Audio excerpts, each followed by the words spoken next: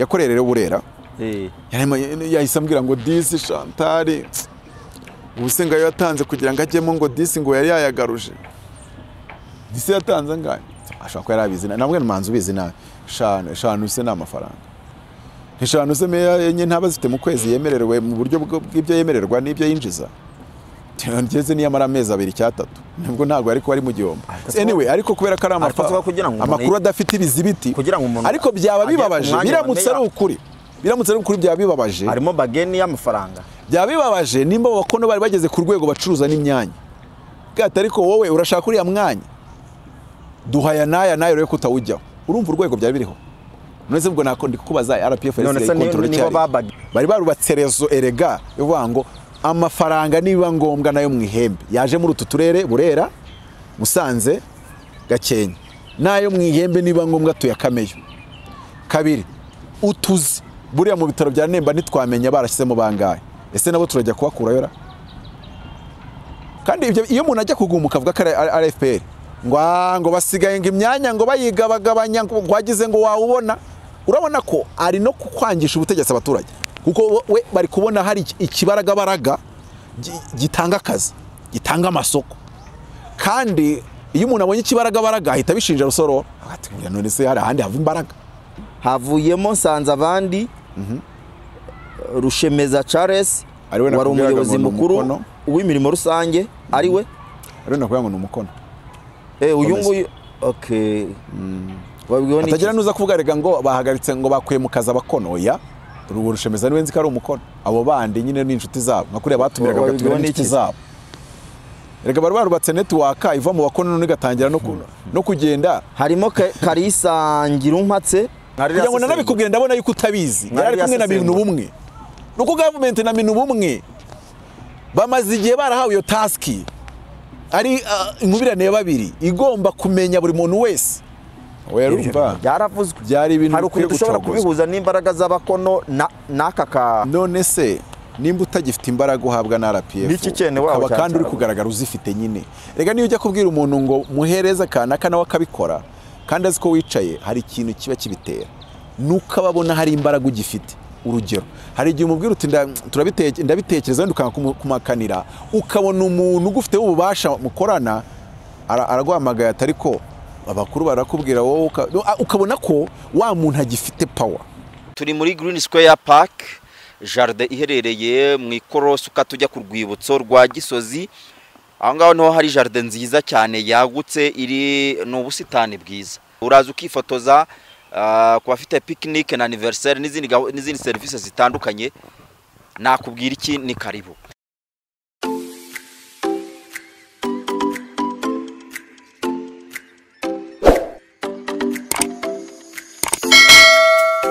Ikaze bakundwa ba Megapex TV mu kiganiro tugiye kugirana na Apotre Mutabazi Maurice Kabarira tutari bubatindire turagira ngo tugaruke muri uru rupapuro rw'umuhondo rwaraye rusohotse ariko tugende case by case niturangiza tunabihuze n'igikorwa cyari cyabaye cyavuzwe mu kwezi gushize cyo kwimika umutware w'abakono wabonaga ko FPR ariyo yagihagazemo ariko uyu munsi none ibyemezo tukaba turi kubibona ku rwego rw'igihugu. Mutaba? Karibu rero. Yego. Bo ikintu cya mbere tugomba kubona uh, ni uko abantu bari kugerageza kuvuga ngo ni uguhuza ngo, ibyo- ngo, ngo kuriya guhagarikwa cyangwa se yero pepa ngo n'abakono. Ntabwo ari ukubihuza abakono byanditse kuri yero pepa nubwo wenda bitanditse muri iyo terime yitwa abakono. Eh, soma ariya magambo abanza hejuru.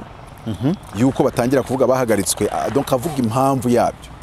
Urabonamo ijambo abakono ariko rititwa abakono ariko bihita bitugaragariza ko nyine ari cyo cyashingiweho cyangwa se cyabaye imbarutso. Ubwo ntibivuze ko haba hari ikindi. Uh, oya bavuze yuko abakono tukaba twihuse. ijambo bavuze ngo cyane baravuga cyane ngo nyuma y'isesengura rimaze gukorwa. Eh, rimaze ko bamwe mu bayobozi batashoboye kuzamura inshingano zabo. Kuzuza inshingano zabo. Eh, kuzuza inshingano zabo. Harimo cyane cyane harimo cyane gusigasira ubumwe cyane bw'abanyarwanda. gusigasira ubumwe bw'abanyarwanda. Eh, nka rimwe mu mahame remezo leta y'u rwanda yemeje yiyemeje kugenderaho. Mm, none ku wa munani kanama bibiri na makumyabiri na gatatu abayobozi bakurikira bakuwe mu mirimo. Yego. Urumva ko bazize kudasigasira ubumwe bw'abanyarwanda. Igikorwa cyagaragayemo kudasigasira ubumwe bw'abanyarwanda ni ibikorwa bibiri. Ubwo namwe ndababwira turebe n'iki aba ngaba ba- ba- ba- ba- ba- bashinzwe. Tv ya- nabonye kuri nuza yayo nimba ari facebook nimba ari twitter nabonye screenshot. Haranditse ngo abatuye mu bice bitandukanye by'intara y'amajyaruguru baramagana abakomeje eh, gushaka kurema amatsinda asenya ubumwe bw'abanyarwanda kuko nyuma y'aho himitswe umutware w'abakono ubu hari kuvugwa abandi nk'abo bita abakonya. Abako? Abakonya. None se ubu tuvuge ngo bariya bahagaritswe bari mu itsinda ry'abakonya cyangwa se mu gatsiko k'abakonya? Ikigaragaza iki- ko ibintu byari bisanzwe biba ahubwo no Ah, amafoto bagaragaje anagaragazamo gasamagera bien sûr urumva ko nyine bagiye kuganiriza noneho n'abaturage kugira ngo ibyo bintu babyirinde Eh, gasamagera esigi wa, fpr se njyewe mbere y'uko uh, minisita minaroke ajya kuvuga kuri biriya njye nabanje ndeba komposition y'abagiye. Reba ukuntu byubatse. Icya mbere iriya ni imyanya ok ni bamenya nyine bayoboye ariko ni na ba bandi batanga amasoko n'abitwa ba corporate. Kandi buriya corporate mu karere vandi ni umuntu uremereye. We na executive ni we bafite bije. Ni ukuvuga ngo rero aba bantu babiri uh, executive corporate na meya amafaranga yose y'akarere ubu uyafite mu iposhe. Nko kuvuga ngo ah, ni makeya yakuyufuka manza ari yayandi wenda ajya amapapetori. Amasoko yo mu mapapetori. Ariko aya masoko manini manini y'ibi- y'ibihiga bi- aba asa n'aho ariyo agize ibikorwa nyine by'akarere. Uba ushobora kuyohereza aho ushaka. Noneho bagafata n'uwishinzwe ubutegetsi n'abakozi. Noneho aho bibera nabi aho kazoza aziramo executive w'intara bivuze ngo ya masoko manini agomba kuba puruve ku ntara. Ariko hari umuntu ugira amahirwe we. Uriya mumama uyobora intara we. Y'amajyaruguru. Eh uyu uyu none se nawe ntabwo ashobora kuba yaraje muri ah, cyangwa se yararanzwe na nuza na, gatabazi.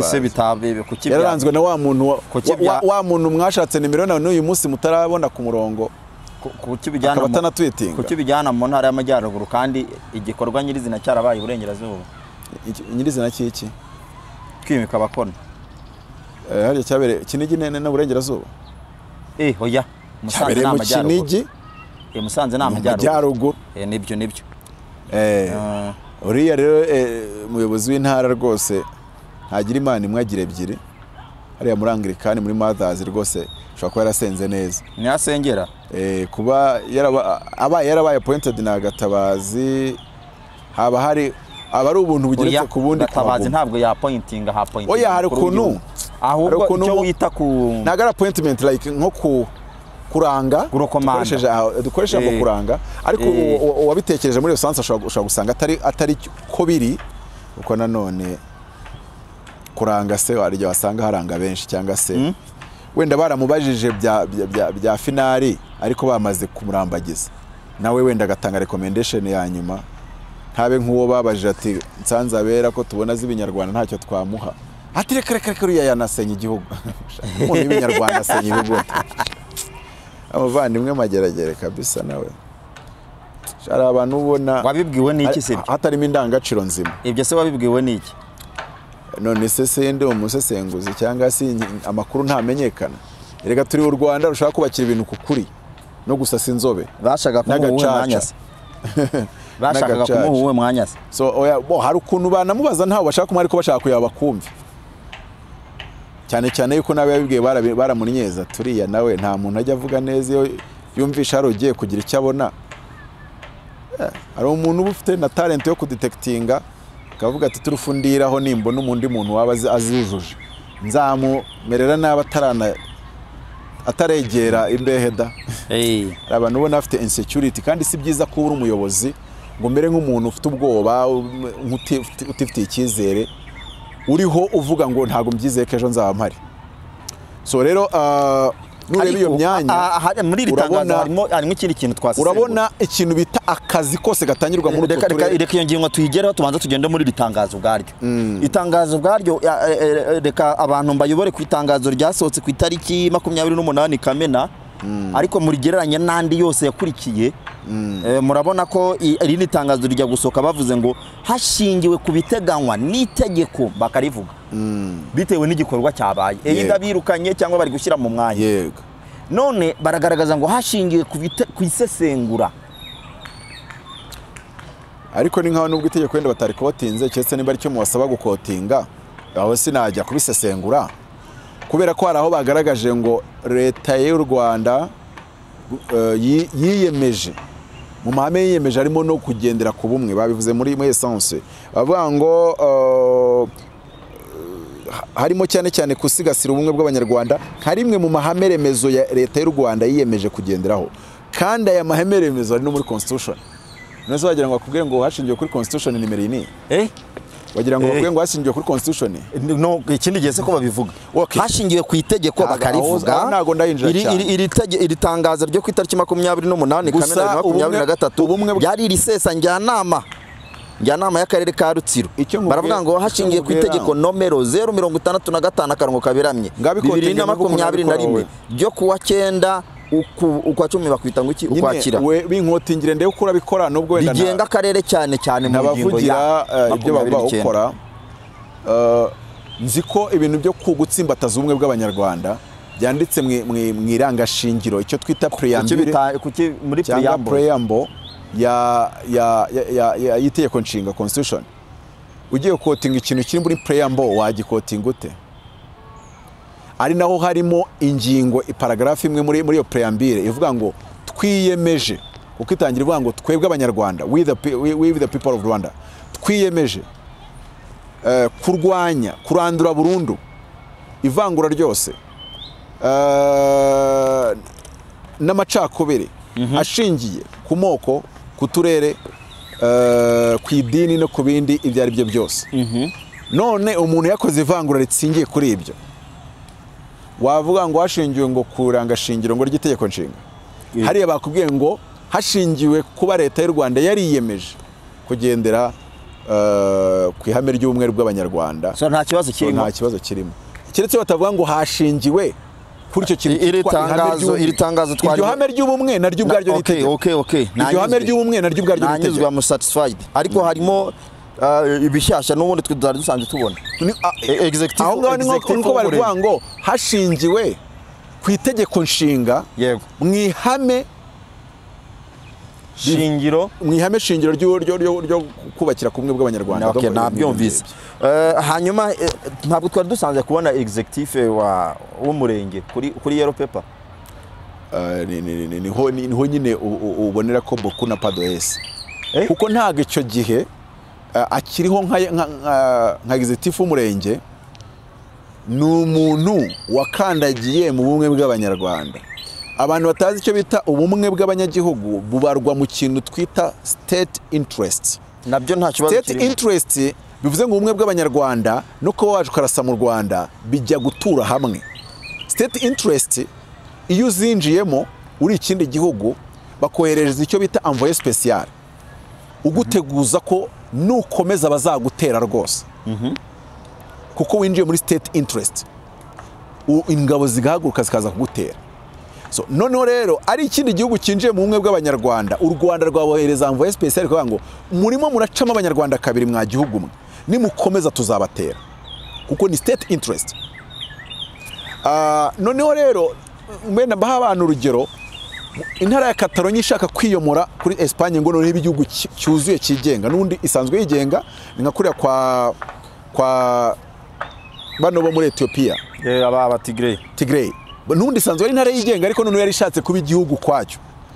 Icyo gihe muri, Catalonia bakoresheje ingingo yo mu itegeko nshinga ivuga ngo igihe hari umuntu ushatse gucamo abaturage kabiri ibice bibiri.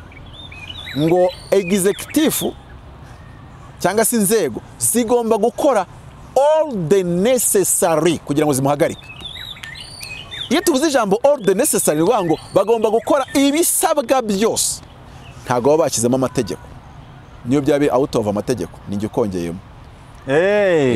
Ubundi hari ikintu ukorera igihugu bagakora all the necessary. Nk'urugero eh, jonathan hari ikintu wakorera igihugu hari ikintu wakorera igihugu hari abo mwari mufatanyije kugira ngo ayo makuru tuyagukuremo. Tugakora all the necessary.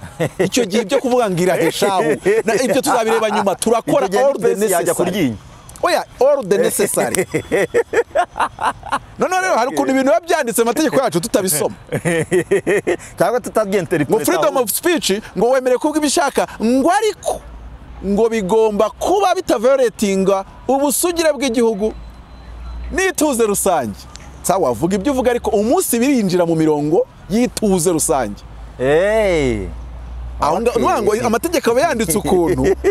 Noneho rimwe na rimwe ukasoma wowe ufata kuri ka kandi kakwa avantage kabisa. Ntabwo nakumvise.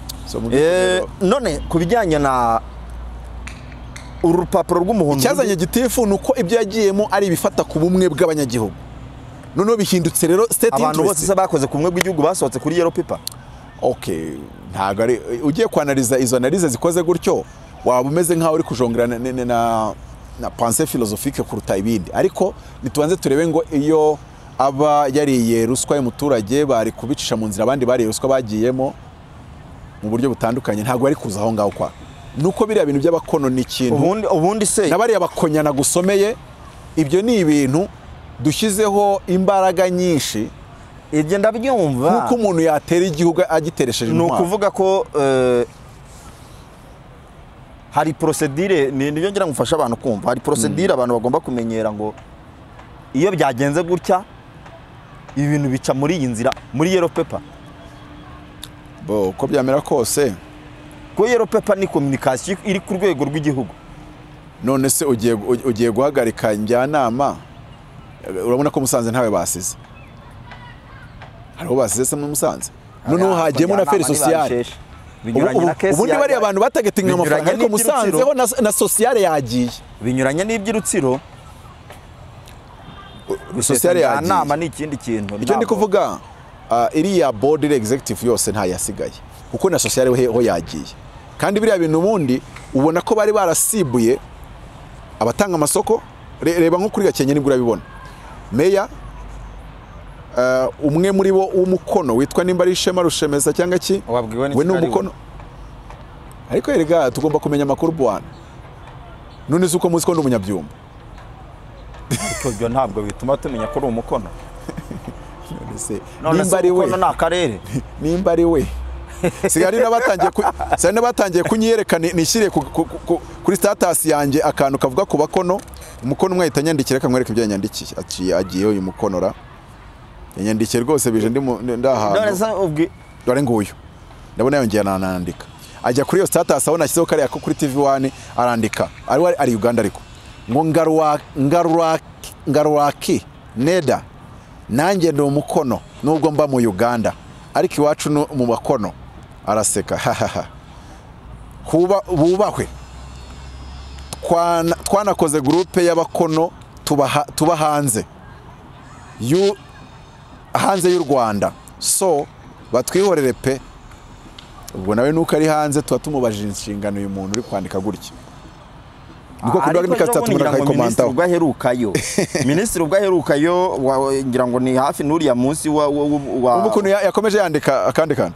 Ngo batureke kabaka wafe ngo baturekere umwami wacu nyine kabaka ni umwami. Eh, tumweta agasebo akono ko mbona bafite indi myumvire. Odyo rya mu olibulu aha. mugamba mutyeyo ah birananiye nta nubwo ikigande buriya nyumva ni ibintu byo na- gupfundikana nawe musekura rwanda ariko noneho nshatse kwereka ngo eh, uretse n'abakono bari kugenda bareba n'ibyo by'abakonya. Umuntu wese wubatse akantu k'agatsiko. Nabakunze kubasobanurira eh, ingaruka z'agatsiko. Ni abantu ba- batangira kubaka imbaraga ariko ntusobanura icyo kintu. batijwe ariko n'igihugu ntusobanura icyo kintu. Bagatangira kuzikoresha mu nyungu z'ako Ariko gatsiko konyine. ni iki nashagomba gusobanura mfasha? Hari kominikasiyo tugomba kumenyera ya guverinoma tukamenya ngo ica muri yero pepa cyangwa iyi nticamo donc iminota myinshi tuyimare turi kuri communication nuko zikorwa. Cyangwa turebe icyo baduresingaga uh, ni cyo cyangizaga. Ndikumva rero aho hantu hari imbaraga. Communication baba bayikoze nabi wayikoze nabi nyine bamukosora atazongera kuyikora nabi. Nanjye sindi n'umuhanga wa communication. Ngombwa nuko bashyize kuri yo pepa byasinywe n'ubifite mu bubasha bwe. Hari impamvu batashyizemo ingingo kandi burya iyo basanzwe bandika bashyizemo ingingo byanga bikunda nabo baba babitekereje. Gusa reason bagize ntayo batubwiye. Gusa nkweretse ko kuba bavuze ko ihame ry'ubumwe bw'abanyarwanda riri mu irangashingiro. Bivuze ngo n'ayo mategeko yose uvuga agira ishingiro ari uko nyine ahuza n'ayo mahame yo mu irangashingiro birakoze Yes. reka noneho tugende rero. Ah, intara y'amajyaruguru ni intara yibasiwe cyane. Iya- unarebe. Yibasiwe na yellow umva nyumva pepper, neza. njye nigeze nkora ikiraka muri peniyari bampembaga miliyoni n'ibihumbi ijana na makumyabiri n'icyenda ndacyabyibuka mfite imyaka makumyabiri n'umwe. Bayampembaga mu kwezi. Nagombaga gukora turere mu turere tugize amajyaruguru. Ko buri muntu wese yafataga intara intara intara. Icyo gihe nari mfite gicumbi nyine mu- burera musanze gakenke. Ese hari utundi turere turi muri mu ntara y'amajyaruguru cyangwa tubu two twonyine? Mumfashe reka. Uvuze? Gicumbi burera musanze, musanze gakenke. Hari utundi turere tu- tuba muri mu majyaruguru Rulindo se. tundi eh? rurindo eh hari na rurindo vara rurindo na yo yari iriho. Eh? Ubwo rurindo nitajemo. Uko kuri yero pepa harimo yero pepa y'ururindo yero pepa yari iri- yari- yari iriho uturere twose twa twa majyaruguru kwiho rurindo Mhm. Eh, ko nibuka ko twari dutanu ka gatanu niko ntari ntari gukurura neza. Uretse rurindo kuko urabona meya wa rurindo ntiya- ntiyajemo cyangwa rurindo ntabwo bakozeyo igicumbi bafashe. Meya waho ariko bamujyana ku ntara. Nzabona Emmanuel inshuti wanjye ni umuyobozi Eh, mwiza. ari mu bayobozi babiri. Yagiye kuba executive w'intara. Ah. Ariko w'agateganyo uretse ko azagumayo ndabibona. Imboni yanjye iranyereka ko azagumayo. Uko parikuru ye yavuye minikofine ajya kuba uh, corporate mu gatsibo. Kandi yahayoboye neza abari bariyo bambwiye ko byari bimeze neza. Reba no kuva rero kibari ujya uh, gatsibo ukashobora uh, ari ibintu bifatika. Hari, imbaraga uba ufite nyine zituma uhashobora kuko rimwe na rimwe uvuye mu gace kamwe ujya mu kandi hari igihe byanga. Ariko kuba yara- yarabishoboye ni uko ubwo yari yamanukanye imbaraga zikwiye. All the necessary. Yari yajyanye imbaraga all the necessary. Then azaza kuba meya kuba meya byo biri politiko kuba minikofine ntibiri ko- politiko cor- po- corporate ntabwo biri politiko kuba yari ari meya byari biri politiko i don't know icyo nzi ni uko ari mu bayobozi babiri banyakiriye bamperekeza mvuye kuvuga nabo muri ofisi bakangeza ku modoka. Eh nkorogera icyayi isaha tuganira. Hehe amperekeje nyine ku karere sindi umunyagicumbi se amperekeje angeza ku modoka. Urumva ko ni umuntu wakira abaturage ku isonga. Umuturage bari ku isonga. Reka reka reka reka reka tugende. Eh, muri muri muri eh, mu ntara y'amajyaruguru hakuwemo mushayisha godefre yes. Eh, wari umunyamabanga nshingwabikorwa w'intara. Sibo bita ba gitifu. Executive w'intara. Yego. Eh, hashyirwaho nzabonima emmanuel. Nk'umunya ari we uvuga wamusimbuye? Ari we wamusimbuye uyu by'agateganyo. nguyu kesi ye ishobora hari- ukundi yihariye? Eh, inde? Uyu uyu uyu uyu godefre Godfrey? Geoffrey urumva Jo- Jo- Geoffrey yari executive w'intara. Rero urumva iyo amasoko manini agiye gutangwa kuri bakazoza ah, hari amasoko uribuka ko mu- nuza muri rutsiro byajemo ukuntu haba itegeko yazagamo. Hari amasoko biba ngombwa ko haba hari ariko runaka? kiriya kesi ya rutsiro na yo si gusa. Urumva haba hari approval runaka yo ku ntara? Rero bigaragara ko uyu muntu bari barubatse rezo erega bivuga ngo amafaranga nibiba ngombwa na yo mu ihembe. Yaje muri utu turere burera musanze gakenke. N'ayo mu ihembe nibiba ngombwa tuyakameyo. Kabiri utuzi. Buriya mu bitaro bya nemba ntitwamenya barashyizemo bangahe. Ese nabo turajya kubakurayo ra? Kuko urabona ko bubatse iki netiwaka ega iyo ukontorora amafaranga iyo ukontorora amafaranga njye nanabaza ngo buriya FPR hariya yakontoraga iki noneho out of abakora kuko nimba umuntu akontorora amafaranga agakontorora abahabwa akazi. Ubwo na vetting ni we uyikora. Yo muri iyo area ari byo nakomeje kuvuga abantu mugakunda gushaka ku- ku- ku- ku- ku- kunwa. Nubwo muba mwabirebye. Ni kabwa ibintu- ariko ko burera ifashe kuri Kongo. Musanze igafata kuri Kongo. Gakenke nubwo wenda tutahita tuvuga ngo ifashe kuri Kongo asacu uretse ko hari agace kamanuka ukabona gashaka gusatira muri za vunga na hehe. Tukongera tukanareba yuko gakenke nyine nayikozemo nubatse amashuri ya gitabo muri ndusu bakwereka ahantu umucengezi yamanukiraga. Umuntu afite nyine utwo duce twose ameze nk'ari kukavaringa area zose n'ubusanzwe umucengezi yari yarakavarinze mu gihe cy'icyenda karindwi yajagajagaga. Nyamyumba za ndusu do nk'aho hantu za, za, za vunga na he hose. Ibi bintu nkabona izo mbaraga nubwo ziri kubakwa kuki ataje kwa, meya nzabona impa? Ngo nawe tumwumve ba- bamushyira mu nawe batamuzamura ahubwo ba- bamuhagarika gicumbi ifashe kuri, uganda. Nta menase yo kuva uganda tu- dutekereza. Kuki ahantu ubona hazava menase uturere tuhafashe? Ari naho mbona bakonsorize donc amafaranga yaho bari kuyakusanyiriza mu, gice kimwe bari no gutanga akazi. Ese ubu muntu hagize uza noneho turiya turere akadufata mu mbaraga za gisirikare? Abo bantu bamaze kubaka iyo network kugera naho n'ukora ku bitaro n'ukora ku masegonderi. Doko hahandi hose hatangwa akazi ni wa muntu ushinzwe ubutegetsi n'abakozi. Wabonye ko abashinzwe ubutegetsi n'abakozi bose bari bari muri iyo rezo. Yego. Urabona ko ni ibintu bifite ah, imizindi mbaraga kandi byaba birimo kwigwizaho byashoboraga gutera abandi batari muri iyo timu y'abakono.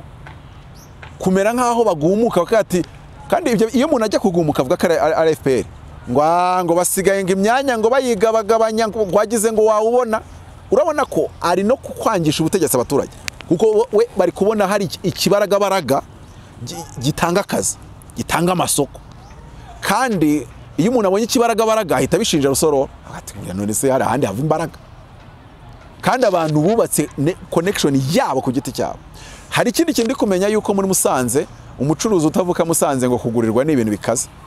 Nubwo n'ibyumba burya bajya ari ukuntu abantu bajya bironda nyine akahita eh umuhungu wa kana kane ndagurira ariko nanone ibyo bintu byo kuba uretse kubijenereza hari kuba iryo huzahuza. Eh, iyo ni iyo ni intara y'amajyaruguru tubwiye. Hanyuma eh, ofisi y'intara akarere ka Musanze eh, havuyemo muri Janvier wari umuyobozi w'akarere havamo na Kamanzi bose, umuyobozi w'akarere ushinzwe imibereho myiza. Eh, havamo na wa mugitifu twagira imana inosa wari umunyamabanga nshingwabikorwa w'umurenge wa Kinigi. Ariko wabonye ko na sosiyete yagiye uwitwa Musabyimana François wari umuyobozi eh? wabonye ko aho ngaho ahubwo Musabyimana François wari umuyobozi w'ubutegetsi n'abakozi nawe yavuyemo bane. Wabonye ko aho harimo na sosiyete ushinzwe imibereho myiza. Yego. Mu tundi turere ntago nta sosiyete wajemo. Eh nta Kamanzi sosiyete inshuti mudukurikiye mubibutse ni wa wundi wigeze kugaragara abanyamakuru bamubaza. Agahindukira nta gisubizo atanze. Ariko se umuntu babajije agahindukira buriya bari kumusigamo ya? Nanone ariko bi- eh, ntacyo mvuze ntiteranya niyo wasanga niyo niyo atavuga yari kuramire mu kazi. Ntawamenya ariko reka turebe igihari. Ubumwe bw'abanyarwanda. Iyo network abubakaga itanga amasoko igatanga igatanga byose. Reka harya byose. guverineri Sinyiragiro Dansire ntekereza ko ari uwo mumama cyangwa se ni umumama icyo nzi cyo? Ntabwo amazina ye njya njya mfata ariko ni ni byo ubu ni we wabashije kubitoka. So uh, hari kesi yihariye izi kuri aba bane tuvuze? Ubihuza n'igikorwa cyabaye? Nta kesi idasanzwe ubihuza ubihuza no kuda no kuda no kuda no kudaharanira ubumwe bw'abanyarwanda. Uh, kesi icya mbere ni uko amasoko keretse ugiye kudiginga ukamenya ngo amasoko bayahaga bande abahawe akazi ni bande noneho ukagenda ureba kompozisiyo yabo. Hari ukuntu umumbu utigeze kuzana abanyamurenge bamwe abaha akazi muri garide perezidansiyeri ye.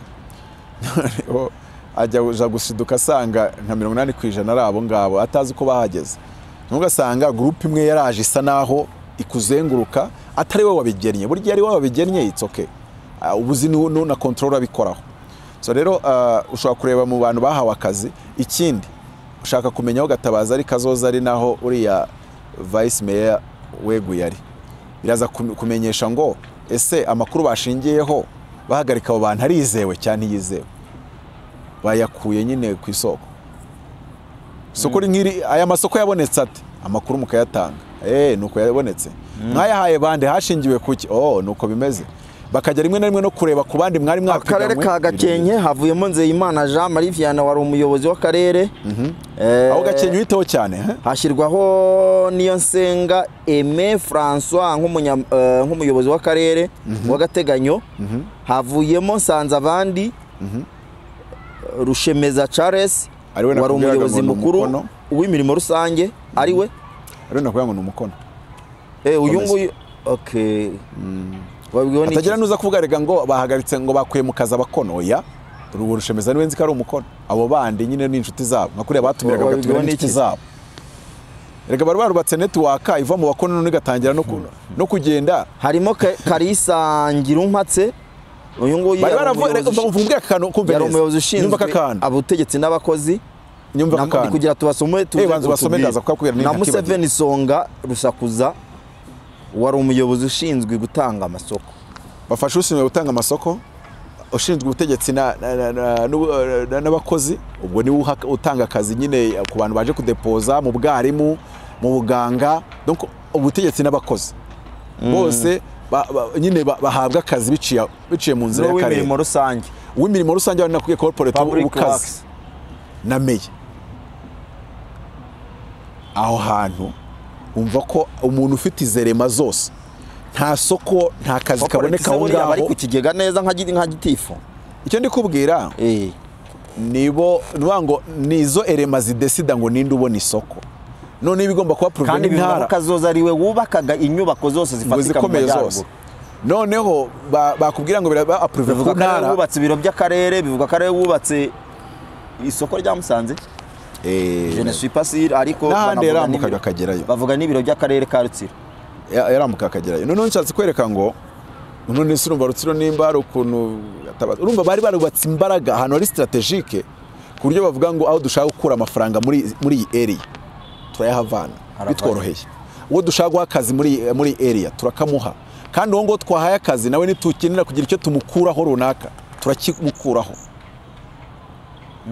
Ibyo bintu ureba ukuntu iyo network yubatse ubone yuko atari ibintu byo kugira gute eh, gufata minenegwe byajya kuba pruve ku ntara ku masoko manini cyangwa se amasoko ayo ari yo yose eh, uwo ku ntara nyine akaba ahari.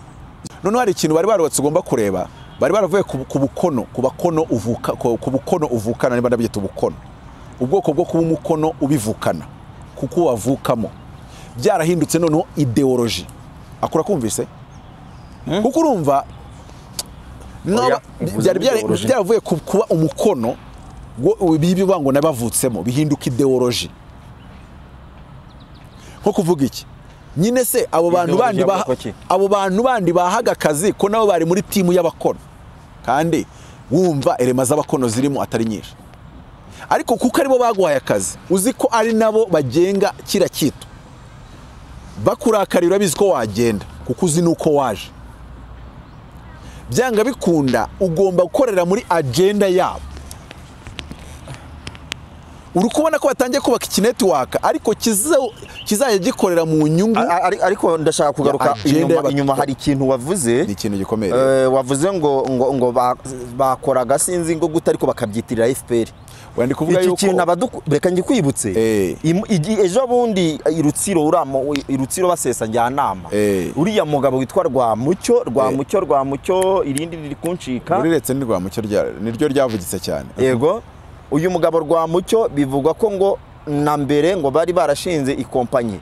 Bayita ngo reserve reserviste reserviste cyangwa se reserviste. Ubundi ngo rifite ngo rifite ijambo ry'igi- ry'igifaransa. Ni reserviste wabishyira mu cyongereza bikaba reserve. Nibyo bari babyise ngo reserviste wabishyira mu cyongereza bikitwa reserve. Noneho abantu bagahita bavuga ati ubwo ni reserve force. Kugira ngo gisawundinge mu buryo nka reserve force se Eh. reserve na yo mu rwanda rega na yo ni ni akantu ni ikintu gifite imbaraga hanyuma rero ngo hari n'ukuntu biyitiriraga ngo hari ukuntu biyitiriraga biyitiriraga umutwe wa biyitiriraga FPR ibyo bintu ni nk'ibiri muri ADPR buri wese akubwira ko yatumwe buri wese akubwira ko nk'ibintu biri muri ADPR ushaka kurya wese no- kwiba abandi. Nyine ushaka kurya no kwiba abandi. Abemeza yuko yatumwe na FPR se? FPR nyine ababeshya ko reka nkoresha ijambo rivuga ngo ababeshya ko. Nyine. none kuko azi ko utazaza Ari- ijambo rikomeye mwese mwese hari ijambo rikomeye mwese hari ijambo rikomeye reka nkubitire mu ivi n'ubundi nkubwire, buretse N'ubundi gukubitira mu ivi abakozi b'Imana abakozi b'Imana muza muvuga ngo mwese ngo mwaratumwe. Oya ntacyo n'uwo muhuriye mu muhanda mwaratumwe. akazi, hari uwigeze kumpagarika arambwira ngo? Imana yakuntumyeho none ariko ni imana yari yamutumye Mvuga iki ariko yavuga ko yatumwe wenda no kugira ngo n'undi wamutumye. Numva nyine nkubwira. Ari ijambo rikomera. Nyine muri ADPR urabona ijambo rikomera. urabona nk'umwe ijambo rikomera. wa mupasiteri ejo bundi yaravugaga ati ntabwo ugomba kumpagarika utarantumye. Ati ngewe wantumye. Oya uri kuvanga byinshi. We ndi kuvanga bigaragara yuko ijambo gutuma uvuze byahitaga risobanura bigaragara yuko Ijambo gutumwa. ari kugaragaza ko wamuhamagaye ari imana. Ari uvuga utuma aca abantu. Burya ijambo iyo uvuze ngo ndaguciye bigaragara ko uvuga wagutumye ari imana. Ariko hari ijambo rya rikomera. bavuga batumwe bavuga ni bande? Uri gutuma nakubwira. Hari ijambo rikomera.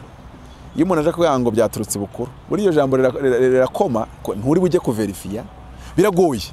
Ni ngo hari igihe bagukubitiye mu ideyi rero iyo udafite indi faso yo kuverifiya rero uh, ushobora gusanga abaturage baranabibonagamo kuvuga ngo aba bantu bafite uru rubaragabaraga.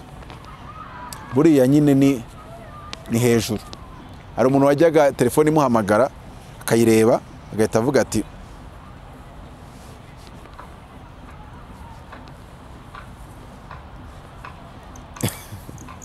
ubwo nawe ugahita umenya uko bikoze. Ubwo rero hari igihe umuntu aza akababwira ati ubwo akaba agutwaye ibyawe. Ubwo akaba atanze akazi aho bitari ngombwa. Ubwo akaba akanze abandi bakozi bakorana. Kandi koko nigeze kubwira igihe kimwe nka bwana uzamenya ko umuntu afite imbaraga? Nimba mwapfubiranye kuri ibi nakwima ikiganiro nagera mu rugo nyirinzi agahita amapereyava kandi akaza kuma pereyava ambwira ati wowe basigaye bakwaka ibiganiro ukanga. Icyo gihe ndavuga ni wa mugabo. Ubwo icyo nshatse kubwira aho ngaho uri kumva icyo ari cyo? Umuntu uri muri iriya rezo y'abakono yakangaga n'abandi bakozi bakorana kuko n'ugerageje kuba umukozi bapfubiranye ari guhita abona intebe y'inyeganyega nibo bahagara kwa meya ku, ntara eh, ushinzwe ubutegetsi n'abakozi corporate. Ubwo se urumva imbaraga zose bari bazifite. Ari byo minisitiri yavuze ati bari barigabije imbaraga zo gutanga amasoko no gutanga imyanya y'akazi. Gakenke ndi gusoma mu kanya wambwiye ngo nyitondere. Yi- nyine reba uburyo byubatse. Bafite corporate ni ho hajemo utanga amasoko cyane. Utanga amasoko ubutegetsi n'abakozi na corporate na meya nyine hakazamo utanga amasoko kandi ntabwo uri kubonamo iryo jambo ry'utanga amasoko. Hiyongeyeho witwa utanga amasoko. Naho akarere ka burera eh, uwa nyirigira marie chantal wari umuyobozi w'akarere eh, yakuweho hashyirwaho uwitwa nshimiyimana jean baptiste nk'umuyobozi w'akarere w'agateganyo hari amakuru we ufite yihariye yatashye ibi birori yatanze amasoko yatanze imyanya y'akazi. Iyo bari yaratashye ibirori nawe bari kumutwereka ntabwo bari kutwerekwa uriya visi meya badusigiye abameya nase visi meya wagiye ntuzi ko izina rye ryavugwaga? Eh, ntabwo yatashye. Ahubwo yari ari mu- muri abo ngabo nyine bari muri netiwaka inyegeje. Nabonye twitiye rero. Yandese eh, bigaragara ko namuforowingaga ntabizi. Yandese eh, ya uwamariya marie chantal. Yanditse ngo nsabye imbabazi ku nshingano ntabashe- ntabashije kuzuza cyane cyane gusigasira ubumwe bw'abanyarwanda. Ndashimira nyakubahwa perezida wa repubulika paul kagame uha amahirwe abanyarwanda bose mu kubaka igihugu. Ndashimira umuryango fpr inkotanyi. Hanyuma umukuru w'igihugu akaba amahirwe bose bo bakayaha abakono gusa. Eh, yego sha nawe se nturi kubyumva. None bazongeraho amahirwe abantu bose n'abafite uh, gahunda y'ubukono muri bo. Hasi yongera akomeza avuga ngo igika cya kabiri ngo nshimira indacogora mu mihigo z'akarere ka burera icyizere mwari mwarangiriye abafatanyabikorwa bose mu iterambere ry'akarere mu gihe nari maze mu nshingano. Ndacyafite imbaraga n'ubushake bwo gukorera urwatubyaye byantangaza oya najya gucuruza. Ese uyu mutindo wa najya muri private formalite sector ya, ya, twitter uyi- uyi- uyi- uyivuga gute? Eh? Iyi formalite ya twitter iyi style ya, ya, ya, ya, ya message zo kuri twitter. Ndayivuga iki mu buhe sanse? Ni ukuvuga umuntu wese ukosheje yumva ko kujya kuri twitter atitaye ku byangiritse. Kandi nuvuga ibyangiritse ujya unavuga na, na e- indamunizasiyo ndaguha urugero. Kuvuga ibyangiritse utari buvuge impozamarira ntacyo uba uri kubwira abantu. Ndaguha urugero. Uko mbyumva ariko? Reka ntacyo ariko mesaje zo kuri twita ubona ko ziba zi- Zirahari. byose. Nanone ni politese ni byiza. Eh, ndaguha urugero. Erega nabo ntawe ubafatiyeho inkota ngo babikore ko hari n'abatabikora ahari. Harya bwose barabikora simbizi. Ariko agahugu umuca kandi uwako. Eh, buri bwoko bu- buri gihugu n'aba- n'abaturage na igira, igira filozofi yayo. Hari filozofi bantu ariko hari na filozofi rwande y'abanyarwanda. Buriya muri filozofi y'abanyarwanda baba bumva ari bwo buryo bukwiye bunoze rwose bwo kubikoramo. Uh, constitution yacu yanditse ivuga ngo ibintu byose tubivoma mu muco. Njye naba nzi umukuru w'igihugu ku bwa yuhi gahindiro n'abandi bose byaragendaga bite? Kuko niba turi kubivoma mu muco uko witwaraga kuri so mu gihe cyo kwa gahindiro nuko witwara kuri so muri demokarasi hari igihe bijya gusa. Kandi amahema ya demokarasi afite ibyo avuga. Ariko ntabwo uza kuba demokarate kuri so. None se umukuru w'igihugu cyacu nitujya tuvuga ngo umubyeyi wacu? None se nitujya mu muco umubyeyi nyine bimera bite? Ariko muba mubikabiririza. Nyone se kari nakubwiye filo- filozofi rwande perezida ni perezida ni perezida. hari uwo yaje kubwira ngo mumwite perezida naba umubyeyi Ndakubaza muri ubu- twandariza Ndakubaza. ni papa wande. Erega muri abanyamakuru muri abanyamakuru ariko yagiye mujya gufata mu- mushaka gufata inshingano z'abafilozofe b'agace n'igihugu. Oya ariko tuba tugomba gucarenjinga ibintu. Uwabona Filozofi ya population. urimo urabwira Filozofi ya population ntabwo iremwa n'abanyamakuru. uri umusesenguzi wangiza ukabwira abantu ko umukuru w'igihugu ari ari- ari Ngenda kubwira- umubyeyi nge ndi kubabwira ibyo muvuga. Ni umubyeyi. Nimba ndi umusesenguzi uri kumvangiramo hagati. Uzi impamvu uri kumvangira? Ndi kubona ntaradevelopa igitekerezo ugahita uzamo ntacyo numvishe igitekerezo cyawe nk'umunyamakuru filozofi igenga eh, eh, population cyangwa civilisation runaka yubakwa. Nk'uko wenda mu bugira icyabayeho ba Socrate ba Plato bande bose. Aristotle ni ukuvuga ngo abanyamakuru mwebwe ahubwo musesengura uko abanyarwanda bumva ibintu n'uko biyumva. Wenda mukanagaragaza uko amategeko abivuga.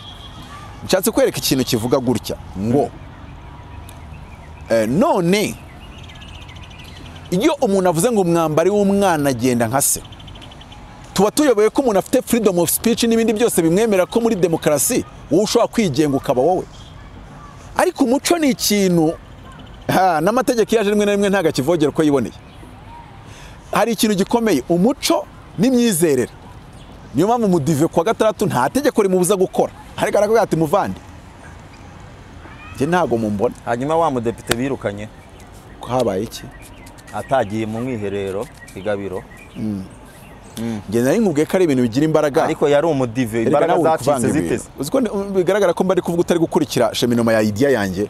Ntabwo ndi kuvuga ngo ntibamwirukana. Ahubwo ndi kuvuga ngo bigira imbaraga mu- buryo umuntu afatamo imyanzuro n'uburyo atekereza. Uburyo bwa ati bashake banyirukane ariko nk'uko imyizerere ya bamwe bizera mu myizerere bakavuga ngo pasiteri aba ari dadi yikomporuta nk'umuntu uri kwikomporuta kuri dadi nyine we. Ariko hari abandi bata imyizerere wenda itamufata pasiteri nka dadi rero natwe umuco na filozofi rwande ituma abantu bumva his excellence nka dadi cyangwa se umubyeyi wacu. Noneho rero ibyo bintu bigahita byongera bikinjira mu muco so umufata ute? Bidakuyeho ibiri mu itegeko bishobora kuzakoreshwa wenda mugiye nko mu nkiko bigiye nko mu bintu nyine biri legale ariko noneho hari ibintu biri philosophique et idéologique. None ugasanga mu muco nk'urugero nta muntu wajyaga avuguruza se abantu baravuga hano mu rwanda sindabona umuntu waje ngo ajye kuvuguruza aho hejuru. Kubera iki? Ibyo constitution ivuga ngo ibintu tugenderaho nk'abanyarwanda tuzajya tubivoma mu muco. Mu muco nta muntu wa- wa- wajyaga avenyuka se cyangwa umu- umukuru w'igihugu. Ibyo bintu bibiri byari ibintu biri sakre ariko mutavuze Njye ko ndi kukubwira uko mutekereza njye ndi kukubwira uko mutekereza. wari uzi ko muri kwanariza muri- hierarchy ya cyami mu mitegekere ya cyami. Umwami yabaga afite umuntu bita umuvuguruza. Iyo poste urayizi uzi icyo yaba ashinzwe? Yabaga ashinzwe? Kuvuguruza? Eh.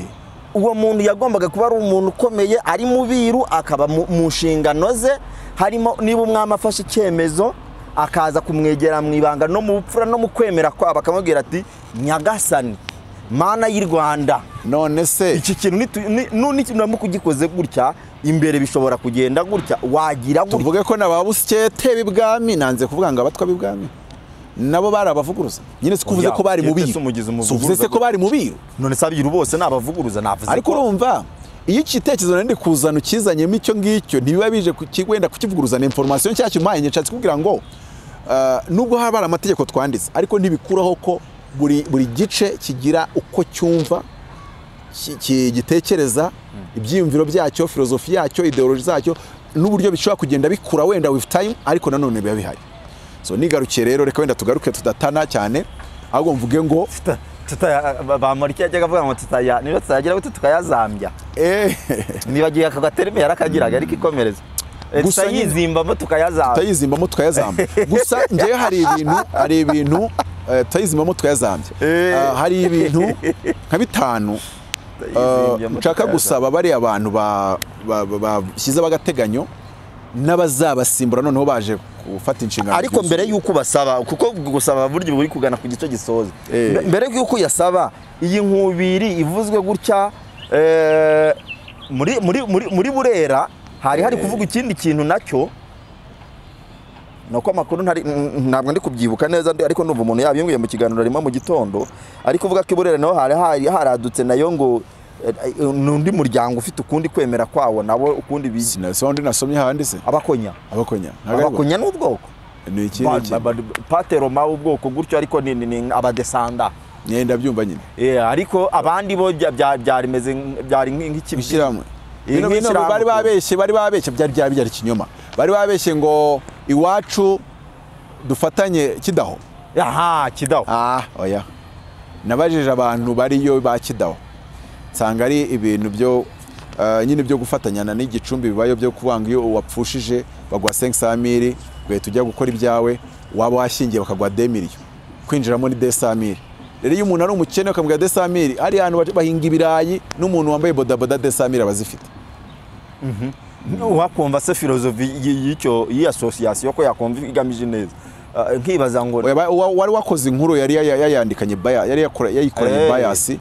Nda- nakoze fact check rwose nsanga. Reka reka reka Ntabwo izindi bias- abantu batanahura. Izindi bias ntizishobora gukuririraho abanyeshuri wenda bize muri muri GS GS Rutongo ni urugero abize muri Saint Joseph runaka abize muri Saint Aloys runaka. Izo association ko zari zisanzweho? Zizagumaho. Abantu bashobora kwihurira ku bw'indi mugambi bihinduka ikibazo ryari? Abantu ntibashobora iyo mutangiye iyo mutangiye gufata bwa bumwe bwa bamwe bugatsikamira kandi bukarusha imbaraga ubumwe bwa bose. Gutsikamira nko kuvuga iki? Iyo bwa bumwe bwanyu butangiye gukorera inyungu zanyu mwenyine kandi mutari gukoresha umutungo wanyu bwite. Iyo mukoresha umutungo wanyu bwite mu bumwe bwanyu bari koperative cyangwa ikimina. Ariko iyo mutangiye gukoresha imbaraga mwahawe na leta mwahawe ngo zikorere abanyarwanda bose muri yavuze ngo ngaha amahirwe abantu bose. ariko bo bagakorera abakono gusa. Kandi yabahaye amahirwe aha amahirwe abantu bose ngo bakorere bose. So mu by'ukuri aho ni ho batangira kuba ikibazo. Buriya n'iriya gurupe yo- mu- ishuri mwizemo mutangiye gukoresha imbaraga z'aho mwahere mwa- mukora. Ariko mugatengura muzana inyungu zose kuza muri abo mwiganye. Nanone muba mutangiye kwitwara nk'agatsiko ak'amafaranga kuri meya wa, burera nigeze kumva utambikamo karagake. Hari umuntu twaganiye wakoreye i burera. Kandi bigaragara ko atari umuntu w'umunya- w'umunyabinyoma uca- ugira. Hari umuntu utizera parole ye kubera kuba uvuga ati "Uyu n'ibihwanye- ibiwahwanye ya- ya- yakubirindura Yagucabiranya. ariko we ni umunyakuri. Yakoreye rero burera yarimo yahise ambwira ngo disi shantari ubu se ngayo yatanze kugira ngo ajyemo ngo disi ngo yari yayagaruje. Disi yatanze angahe? Ashobora kuba yari abizi nawe namwe manzi ubizi nawe shanu eshanu se ni amafaranga. Eshanu se meya enye ntaba zifite mu kwezi yemerewe mu buryo bw'ibyo yemererwa n'ibyo yinjiza. Ngeze niyamara amezi abiri cyatatu ni bwo ntabwo ariko ari mu gihombo. Anyway ariko kubera ko ari amakuru adafite ibizibiti ariko byaba bibabaje. biramutse ari ukuri. Biramutse ari ukuri byaba bibabaje. Harimo bageni y'amafaranga. Byaba bibabaje nimba bakono bari bageze ku rwego bacuruza n'imyanya. Bwate ariko wowe urashaka uriya mwanya? Duhaya n'aya n'aya rero ko utawujyaho urumva urwego byari biriho. None ubwo nako ndi kukubaza rpf none se nibo babageninze n'u- n'u- n'uwo mukandida kugira ngo atange ayo ngenda mafaranga. kukubwira ngo nimba nawe yabonetse muri timu hari ukuntu byaba biri? Tuvuge se ko yaje mu buryo buri independent bakamurekrutinga yahageze batari koko dufite Umuntu w'umukozi yatuma usugira ugasagamba. Yagutiza imbaraga. dufite umugore ushobora gukora umubyeyi ushobora gukora eh? kumwe nyine muri vetting bavuga. Eh? ko mutabazi tubona ari umuhanga. Kandi ko eh? afite kiriteri izi izi n'izi izi n'izi izi ni gusa kuri uriya mwana. bazambabarira abavetinga rwose turabakunda cyane tutanabakunze ibyo mukora rezilita yatuma tubakunda cyangwa tugakunda izo rezilita niyo tutabakunda reka tuba- mbasabe Ya, hari ahantu hatatu ngenda ndabona hose hako- hakora ku mupaka maze rero hirya cyanzarwe hirwa cyan- cyanzarwe gasitariyo kandi gasito sinzi gahunda afite. Uzambabarire ninde- njyewe. Gaston ninde wamugutumye cyanzara hari ukuntu his excellence yigeze avuga ngo hari abayobozi usanga ideological ari bankrupt. Sinzi nimba uzi teori bita eh, eh, terime bita bankrupt icyo ari cyo. Ntabwo nkizi iyo kampani ih- ihombye igahomba rwose igakinga imiryango bayita ngo iri bankrupt. Ubwo rero bavuze ngo umuntu ideologically ari bankrupt. Ubwo nyine nta kintu akibitseho. Konte vide. Tete vide hari tete vide hari na konte vide. Donc ideolo- ideologiquement vide. Noneho rero bambabarire bazashake erema nimba tuzazishakira niba tuzazivetinga gute. Ziri ideologically supercharged. Rwose gusa sinzi nimba wenda bazakoresha inama bakazumvira hariya ngo, ngo hari imirenge hariya bambwiye. Ngo utari umuntu uhavuka. Abaturage utumiza inama ntihagire n'umwe w'urutoki uzi. Noneho ngo muri musanze iyo utahavuka ngo muri ino minsi ngo bafashe umurongo wo kutakugurira. Ese waba warigeze wumva izina ga- gate- gate- gatebuke? Mbabarira nimba wararyumvishe gatebuke se se wa muniga uba hanze y'igihugu kugira ngo? Waba uriziho waba uzi kampeni ngo yita niba ari bucece revolution? Ntayo myiza. Ntabwo uri kunyo ntabwo turi kugendana. Ni ibintu yakoze byo gukangurira no kugumura abantu ngo abamwemera bemeranya n'ibitekerezo by'aba mu rwanda n'abo bo hanze. Ngo ntibakohereze amafaranga mu rwanda ngo ubwo ni ugukiza rpf ngo nti- nti- ntibakagire gute ubwo n'abo hanze. Abo mu rwanda noneho ngo ntibakagure ibintu bazi ko. Eh, inyange ntimugure. Mm. Donc, ibintu byose bumva amafaranga ya- ya- ya- ya- yajya cyangwa agakatira hafi y'imihanda ica rusororo. Yajya cyangwa agakatira mbese uko mu mitwe yabo ariko ndi kuvuga mu mitwe yabo uko babyumva. Noneho ngaruke kuri musanze. Ko ndi kumva iyo mikorere bavuga ngo turagurira abantu erema. Noneho ngo nimba nyagura amatora ngomba kuba mfite erema ndi bugurire wagize ngo kuba nakubwiye ko bagasa amajyane namubonye ku mafoto bari kwanga abakonya ngo bari kubwira abaturage ngo birinde ibintu bisa n'iby'udutsiko. Ibyo bintu bivuga ngo ndagurira na byo biba bitangiye kuza. Erega nakubwiye ngo ko ndi kubona amafaranga mu masoko mushaka kuyakonsolida muyashyira hamwe. Abantu bashyira mu myanya bakaba ari abantu mwahisemo. Nabwiye ngo gasita aramutse aje utwo turere akadufata. Sindi kumva ari uguhita avuga ati rwose netiwaka irubatse abantu bose ni ukubaha oda kuko burya rega umuntu uguhereye inda araguherana. Iryo jambo arurizi. Umuntu uguhereye inda araguherana. Nazo yararivuze Thomas Sankara. Rero umuntu nimba akubwiye ati ngewe nimba narakugaburiye narakukiza ahangaha ukaba uzi ko wari uhari kubera njye? Do ntabwo wari ugihari kubera rusororo wari usigaye uhari kubera we. Icyo gihe ashobora kuba yakwereka umurongo akakubwira ngo va ku giti dore umuntu w'i- w'imyizerere mishya cyangwa se umutware uri hejuru y'umutware mushya abonye nk'umutware wanyu noneho hari ubundi butware buje ngira ngo tuyoboke. Eh, cyane cyane eh, kiriya gice cy'amajyaruguru eh, habayo amafaranga menshi. Ariko nanone ayo mafaranga hagomba gukorwa ibishoboka byose. Byari nakubwiye ngo do all the necessaries kugira ngo atajya mu maboko y'umwanzi. Mu buryo ubwo ari bwo bwose. ese mutaba? Iyi papiye Ese reka nitize akantu nkakubaze. None wa mpungani kari umuntu wabajatse nimba uyu muntu bari kumuca mili- miliyari mirongo itanu z'amadolari ubwo ni miliyari ibihumbi mirongo itanu by'amanyarwanda Atu- nimba yafite koko. Ubwo yaba afite nk'amafaranga angana na kimwe cya kane cya Elon Musk kuko Musk manzi afite muri magana abiri z'amadolari. Ubu uyu muntu aje mu gihugu ngo ntiyaba ari igihugu mu kindi kuko eh, tugira bije nasiyonari ya miliyari eshanu z'amadolari. None yaciwe mirongo itanu bivuze ngo yaciwe inshuro icumi za bije nasiyonari y'igihugu. Aho ntahinjira ko siyo narize nari ndimo ariko nanone nk'uru- nk'urugero aramutse ayafite ubwo ntiyaba ari igihugu mu kindi? Kabiri. Ubwo se aramutse aya- ayagize akaza mu gihugu akajya ahora asangira agakawa na mironko. N'abo banyamusanze n'abo bakono bose numva numva n'abari kugura ngo ya- yajya guhahahira abangaba gusa. N'amasoko yose barayafashe bagakonsolida. Ese abo bantu bafashe aya mafaranga bakayateranyiriza kuri konti imwe hari ukuntu basigaye bakora transfer bancaire kuri computer. Ikagenda ikwereka ngo mirongo inani ku ijana transferred. Bakayoherereza gasito hariya cyanza rwe erega hari ibintu ngenda ndi kwitekerereza? Nkavuga nubwo yaba ari ipoteze nubwo yaba ari speculation ariko ku rundi ruhande. Icunga sana. Tugomba kuba maso. Maso gute? Gukomeza kwigisha aba bantu. Hari ikintu mutabonye? Komeza kwigisha aba bantu. Ese hari inyungu yaba muri uku kuba buri wese akora aga- aga- agatsinda ke n'undi agatsinda ke? Burakenewe cyane. iyi yero pepa ukuri dukurikije abantu twari twabonye basaba imbabazi abayivuzwemo eh, ntababuramo. Eh, bo.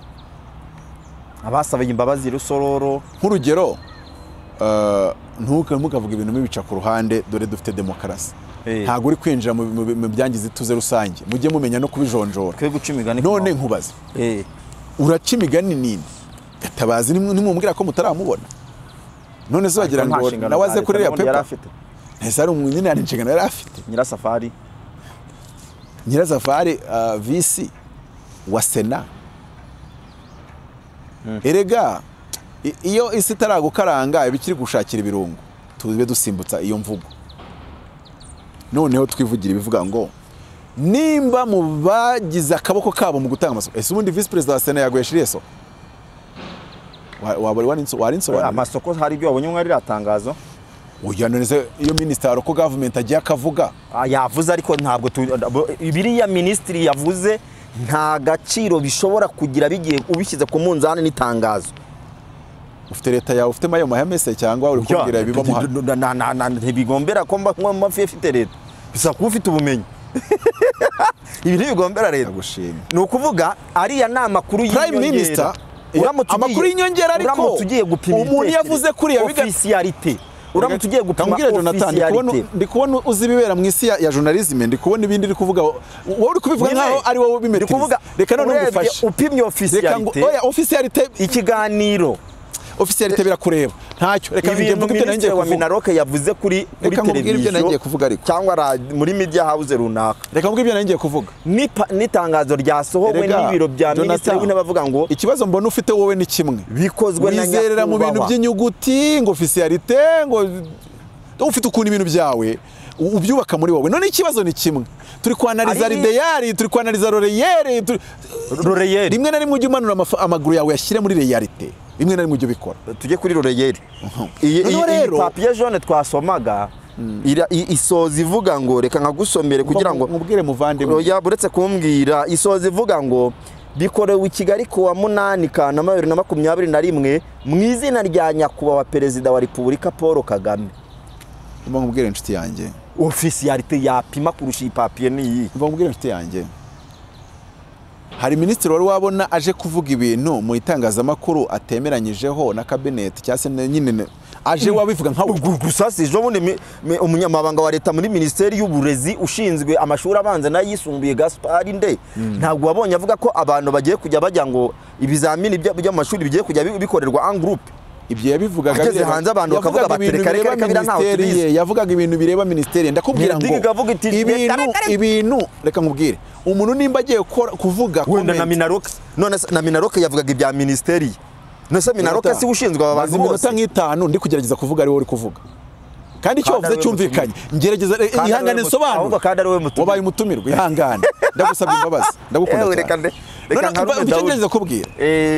Yari ari reka nkarume gukomentinga ku bintu byo muri education iwabo. None hariya mbwira ukuntu local government nka minisitiri uri muri cabinet nimba avuze biriya bigaragara ko iriya yorope ijya kwandika mu bantu bayikoze cyangwa se batanze input zatumye ikorwa yari arimo. Kugira ngo nanabikubwire ndabona yuko utabizi. Yari ari kumwe na bintu bumwe.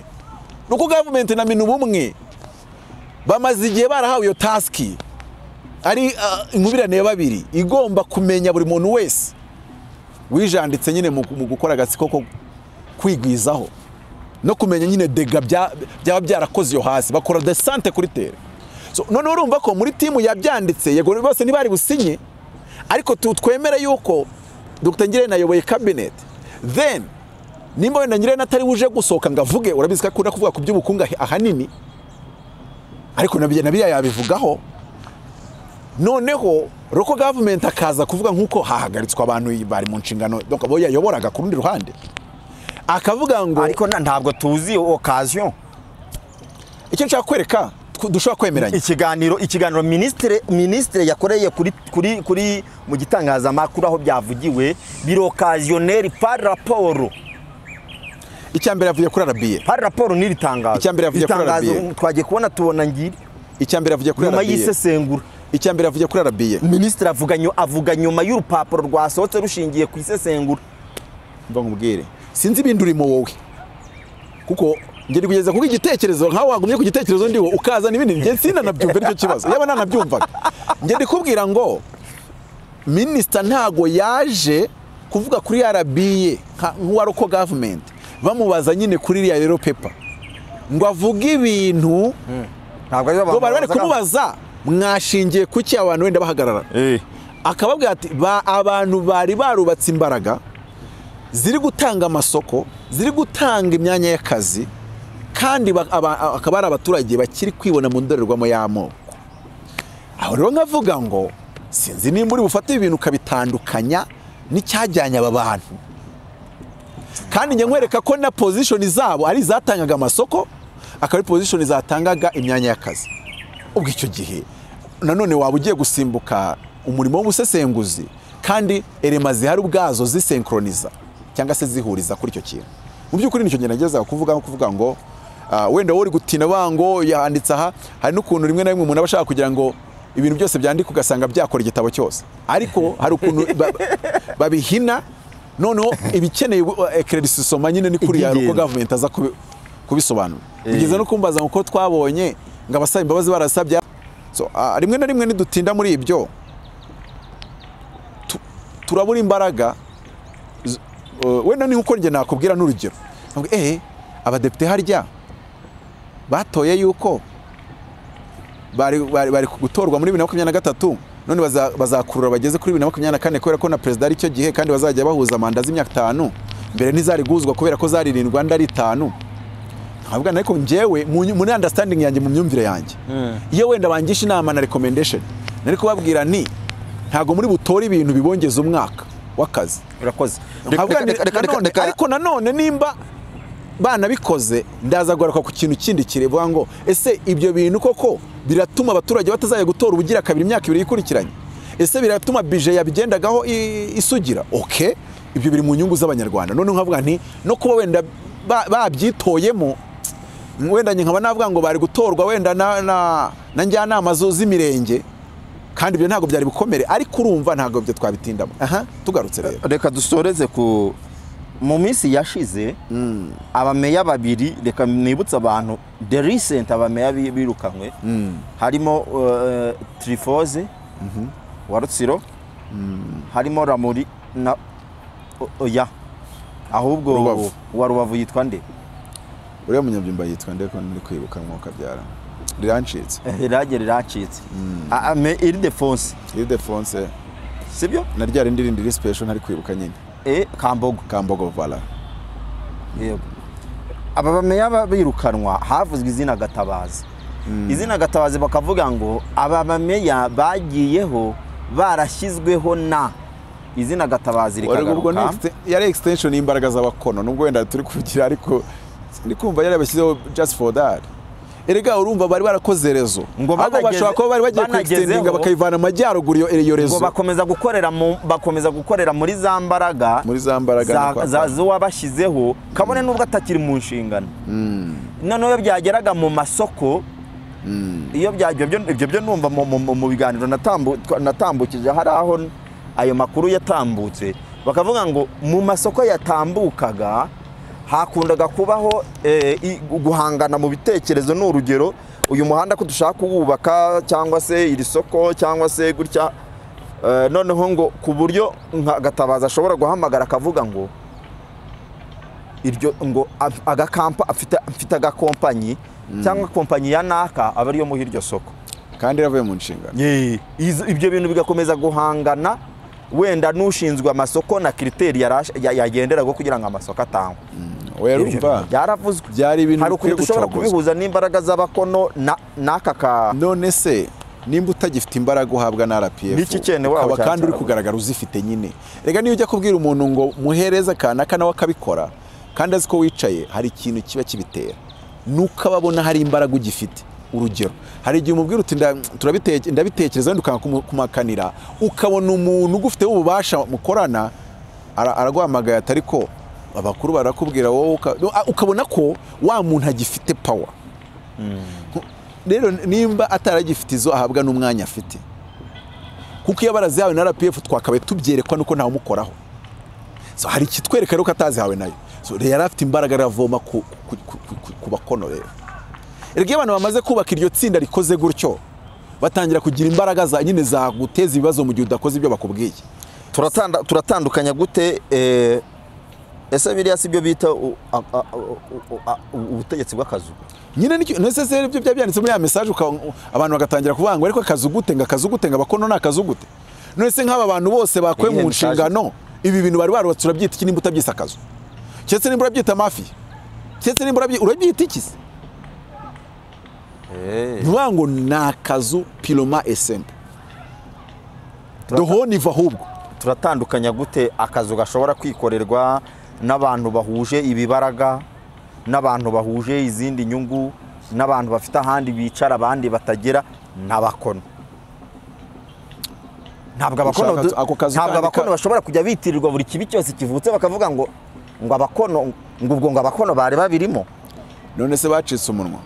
Umuntu yakugerekaho ikintu utakoze ntuvuge ngo jyewe ibyo bintu ndi kumva mubimpimbiye. Niyo bavuga ubumwe bw'abanyarwanda abantu ba- abayobozi birukanywe ntibashoboye kubaka ubumwe bw'abanyarwanda. Ukabihuza n'ubukono. Ibyo bintu abantu biroroha kubyumva. Ariko kumva ngo noneho ibyo minisitiri yavuze akavuga ngo batangaga amasoko imyanya y'akazi bagendeye ku ndakuzi. None se uzi- ko nangiye kubona yuko ijambo ubumwe hari utanazi icyo bisobanura? None se ubumwe ni ukuvuga ngo turi umwe turi umwe ndi umunyarwanda ni byo? Ndi umunyarwanda uri kurya ntarya? Uri gufata avantage njye ntabona nziranye na Mutabazi. ngo ubumwe ubumwe ubumwe bw'abanyarwanda ni ukuvuga ngo ninjya gukora ikintu ngiye mutabazi ndagikora mu nyungu z'abanyarwanda mwese. Igihe cyose ndi gukoresha imbaraga za mwese nyine. Cyoze nimba ndi gukoresha ibyo kwakabarira n'umutungo wawo ndawukoresha mu nyungu zo kwakabarira. Ariko ntabwo ndi bujye gukoresha mu nyungu zo kwakabarira ibintu nahawe n'imbaraga za mwese nko kuvuga iki rero? Iyo utangiye kujya abantu baje gufata amasoko ntuyabahe ushingiye ku waritsindiye. Kabiri ntubihe umuntu waguhereje ngo byitwe ruswa. Bivuge ko ari inda nini none uri guhereza umuntu uri konekite na rya tsinda ka gatsiko icyo gihe uba urimo usenya ubumwe kuko ubumwe nyine ni uko kuntu ko gukorana buri wese akabona inyungu nkaza ntacyo dupfana nta sano tugirana ariko kuko nujuje ibisabwa nawe ukaba utegetswe kumpa ibyo umpa ukabimpa kabiri icyo kibazo wari ubaje sinzi niba biraba bigisubije. Nimba hejuru hari ibyo bahaye umurongo at least ngo ibi bijya aha ngaha. Ariko byaturutse hejuru birumvikana. Kuko hejuru bo barareberera inyungu z'abanyarwanda bose. Babasha kumenya ngo kubera iki bigiye muri iki cyerekezo kandi bizakorera bita inyungu z'abanyarwanda? Ariko hari impamvu abo bantu badashaka kugira ngo ibintu bihabwe umurongo no hejuru bo bakiremera irindi tsinda risigaye ritanga undi murongo. Nese nk'urugero kankwereka urugero. Nimba abakono muri, muri kugena uba meya murabyemererwa? No. Ariko se nka perezida avuze ngo shyizeho n'uzajya rutsiro ajye kuba uw'agateganyo abyemererwa n'itegeko. Nkuko yemererwa itegeko ryo gusesa njyanama. Ariko mwe mushobora kuzajya mujyariye nk'abakono. Namwe mukagira njyanama musa n'abasesheje da? Umwe mukamumwirukanisha undi mukamutera imitego kuko mwubatse iryo, tsinda. Aho muba mutangiye gusenya umwe kuko musigaye mufite itsinda rikora mu nyungu zaryo kandi riri gukora mu bigenewe abanyarwanda bose. Ntabwo rero ukireba abanyarwanda nk'abanyarwanda. Ntabwo ukiza kubakorera nk'uje gukorera abanyarwanda. Usigaye uzinduka uje gukorera abakono. Ah, hagira icyiza ugahita ubaza abakono bagenzi bawe "Eh, ibi bintu tubyerekeze uwe murongo. Eh, nta nubwo ushaka kubaza hejuru.